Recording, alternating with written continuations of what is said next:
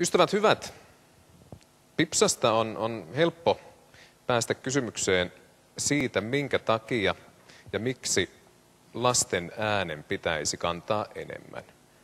Kun lapsiasiavaltuutetun tehtävänä on siis arvioida pääministerille, eli valtioneuvostolle, eduskunnalle ja YK lapsioikeuksien komitealle, millä tavoin Suomessa lapsioikeudet toteutuvat ja mikä on lasten hyvinvoinnin tila, niin meidän viimeisin vuosikirja, joka myös löytyy verkkosivuiltamme lapsiasia.fi, kantaa otsikkoa Harvojen yhteiskunta vai kaikkien kansakunta.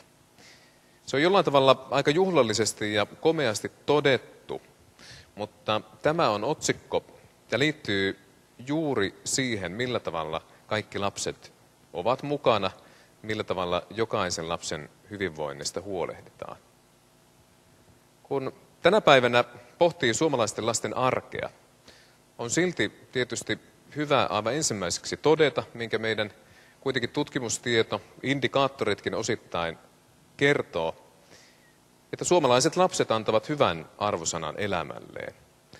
Koululaistutkimuksen mukaan, WHO on tutkimusten mukaan, suomalaiset lapset antavat parhaan arvosanan pohjoismaista omalle elämälleen. Elämä on valoisaa, elämä on hyvää, elämässä on paljon odottamisenkin arvoista. Noin 40 maan vertailussa Suomi on kolmonen, ohi menevät ainoastaan Belgia ja Hollanti. Tämä on hyvä tunnistaa.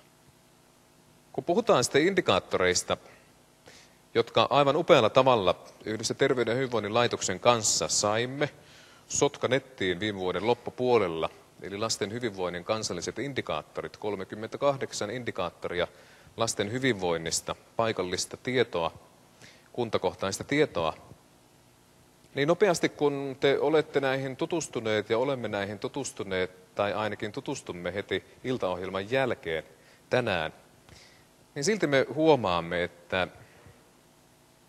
mitä me emme tiedä tai mitä me emme kuule. Se, mitä Pipsa edellä hyvällä tavalla toi esille, on kuitenkin juuri yksi niistä asioista, joita valtioneuvostolle toimme moitteena esille siitä, millä tavalla lasten kokemustietoa palveluista, lastensuojelusta kerätään, kuinka valtakunnallisesti, kuinka systemaattisesti. Kun tämän päivän kouluarjesta suomalaiset lapset viestivät, eli 70 prosenttia koululaisistamme, että kukaan aikuinen ei puuttunut kiusaamiseen. 70. Tai kun 56 prosenttia lapsistamme arvioi peruskoulussa, että opettaja ei ole kiinnostunut lapsen kuulumisista – niin uskallan väittää, että näillä tiedoin on hyvin vaikea ajatella, että me olemme Pohjoismaiden ykkönen tai isosti rankingissa kolmonen. No, yksi luku, joka myös silloin tällöin hätkähdyttää juuri siksi, että kuitenkin Suomi on maailman parhaita maita, mikä tulee meidän akateemisiin taitoihin, lasten lukemisessa ja matematiikassa, luonnontieteessä ja niin edelleen, on kuitenkin se yksi tosiasia, minkä vuosikirjamme viimeisin myös nostaa esille. Eli se, että joka kahdeksas 15-vuotias poika ei osaa lukea. Mitä on siis sen kaltainen hyvinvointi, joka peittää alleen toki vakavia vuotokohtia, mutta aivan erityisesti ehkä epätietoisuutta siitä, miten jokainen lapsi kun puhutaan alle 18-vuotiaista, eli lapsista, puhutaan 1,1 miljoonasta kansalaisesta tässä maassa. Lasten suojeluun kuulee aika usein joutuvan. Harvoin lapsiasiavaltuutettukaan kuulee sitä keskustelua, jossa lapsi pääsee lapsen hyvinvoinnin ja edun kannalta lastensuojeluun. Aika usein kuulee ei vain Suomessa, vaan tietysti kansainvälisillä areenoilla, näissä meidän niin rakkaissa lähisuhteissakin siitä, kuinka lastensuojelu on hyvin dramaattista, lähestulkoon painajaista, jotain kamalaa, mitä ihmisen kohdalle voi sattua ja tulla. Miksi näin? Uskallan väittää, että yksi syy taustalla sille, että monissa selvityksissä ja muistioissa, olemme joutuneet pohtimaan lastensuojelun mainetta, liittyy siihen, että ne kokemukset, jotka ovat hyviä, rohkaisevia, myönteisiä, voimaannuttavia, joista itse asiassa Pipsakin hyvällä tavalla kertoo ja Pesäpuun hyvä työ, on jotain, joka piiloutuu. Me olemme hyviä kertomaan aina siitä, mikä ei toimi, mutta me olemme huonoja nostamaan esille sitä, mikä toimii. Jos siis koulumaailmaa pidetään Suomen osalta maailman parhaana, olemme esimerkki monelle maalle, mutta samaan aikaan siis joka 8-15-vuotias poika ei osaa lukea ja 56 prosenttia oppilaista sanoo, että opettajaa ei kiinnosta lapsen kuulumiset, niin jotainhan me olemme siis osanneet myös kertoa, mikä koulussa on hyvää. No tämä taustalla sille, minkä takia lasten hyvinvoinnin kansalliset indikaattorit oli ja on tärkeää olla jokaisen meistä yhteisen työn kehittämisen kohde, mutta toisaalta myös asia, jossa olemme kunnian haluisia, kunnian tahtoisia.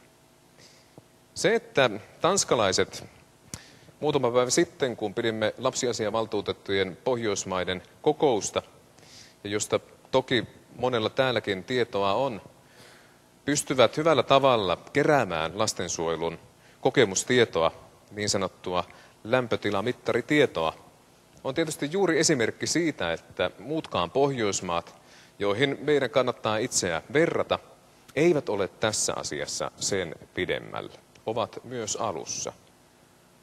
Mutta kysymys todella siitä, millä tavalla systemaattisesti valtakunnan tasolla kerätään lasten tietoa palveluista, on nyt se aivan ratkaiseva asia. Niin lastensuojelun maineen kannalta, lastensuojelun toimivuuden kannalta, kuin myös lasten elämän ja arjen kannalta. Mitä vaikutuksia vuosikirjalla on myös otsikon aiheessa? Mitä vaikutuksia on siis raportilla, joka tarkastelee sitä, kuinka lapset voivat, mikä on YK lapsioikeuksien sopimuksen merkitys tässä maassa? On tietysti suurta sanoa, että, että YK lapsioikeuksien sopimus, joka juridisesti meitä Suomeakin velvoittaa, laittaisi meidät aikuiset ajattelemaan lapsen etua ja hyvinvointia. Ehkä enemmänkin kyse on myös siitä, mihin me heräämme. Yhtenä havaintona vuosikirjasta, joka siis maaliskuussa valtioneuvostolle on annettu, on kuitenkin havainto siitä, kuinka vähän arvioimme lapsiin liittyviä päätöksiä. Maan hallituksen lakiesityksestä eduskunnalle vuonna 2012 kolme prosenttia sisälsi erillisen ja johdonmukaisen lapsivaikutusten arvioinnin, niin kuin Terveyden ja hyvinvoinnin laitos hyvällä tavalla on ohjeistanut. 97 prosenttia maan hallituksen lakiesityksistä ei tätä sisältänyt. Kun ajattelemme siis Suomea lapsiystävällisenä yhteiskuntana yhtenä maailman parhaista, on aika vääjäämätön tosiasia, että osa lapsista jää syrjään ja pimentoon, mikäli vaikutuksia ei arvioida. Mitä on vaikutusten arviointi? Se on aivan erityisesti toki meidän ammattilaisten tietoa taitoa, kokemusta, tutkittua tietoa, mutta se on yhtäältä aina myös lasten osallisuutta, lasten näkökulmaa, muun muassa lastensuojeluun liittyen. Kysymys siis tietysti kuuluu ei vain valtakunnan tasolla tai valtiollisella tasolla, vaan juuri paikallistasolla palveluissa, omissa yksiköissämme, kuinka me siellä arvioimme lapsivaikutuksia, kuinka me siellä kuulemme. Vuosikirja antaa myös hieman osviittaa kysymykselle, kuka on lastensuojelun työntekijä? Kuka on lastensuojelun ammattilainen? En haluaisi pilata meidän letkeää, hauskaa, hyvää tunnelmaa sanomalla, että me osaamme tehdä yhteistyötä. Näinhän varmasti on. Me olemme yhteistyön kulttuuri, ja, ja kukin meistä on, on löytänyt itsensä moninaisista, moniammatillisista yhteistyöryhmistä ja palvereista niin kunnissa kuin valtionkin tasolla ja niin edelleen. Nehän ovat mukavia hetkiä. Niissä usein juomme myös kahvia. Kun kuitenkin aloitin tämän päivän Tampereelta sijaishuollon pohdinnoista, ja siellä pohdimme aivan erityisesti, millä tavalla sosiaalitoimi ja opetus- ja koulutoimi toimivat yhdessä, niin täytyy sanoa, että tunnelma ei ollut niin letkeä näiden yhteisten palaverien sisältöjä pohdittaessa. Kysymys siitä, kuka on lastensuojelun ammattilainen ja työntekijä, oli käsin kosketeltavissa. Aivan erityisesti se tarve, joka liittyi meidän rehtoreihin, opettajiin, opetushenkilökuntaan, ymmärtämään ja tunnistamaan, mitä on tämän päivän lastensuojelu. Aika monelle ammattilaiselle siinä hetkessä ja keskustelussa oli lopulta aika monta kysymystä, joita ei uskaltanut esittää. Aika monelle opetuksen ja, ja kasvatuksen ammattilaiselle oli iso kynnys esittää kysymystä, mitä itse asiassa sijaishuolto on, mitä se tarkoittaa. Kun sitten tapaa lapsia lastensuojelusta, kysyy kokemuksista, joissa ollaan oltu yhteisessä palaverissa ehkä 14 tunnistamattoman aikuisen ja ammattilaisen kanssa, niin sama kysymys on jälleen läsnä. Kuka kukin on? Meillähän on erinomainen kirja tässä maassa, kuka kukin on. Mutta uskallan väittää, että meillä lastensuojelun piirissä, lastensuojelun arjessa, siellä ruohonjuuritasolla, myös sosiaalitoimen ja opetustoimen välisessä yhteisessä työssä, kuka kukin on kirjaa tarvittaisiin enemmän kuin koskaan ennen. Liittyen siihen, mitä kukin tekee, milloin tekee, missä tekee, miksi tekee. Jollain tavalla ehkä jäin pohtimaan erityisesti sitä rehtoria, joka yrittää ja pyrkii johtamaan hyvällä tavalla moniammatillista koulua, moniammatillista yhteistä työtä, mutta jonka tuki lopulta siihen työhön on verrattain pieni, josta hän on kuitenkin monellakin tavalla vastuussa yhdessä sosiaalipuolen kanssa.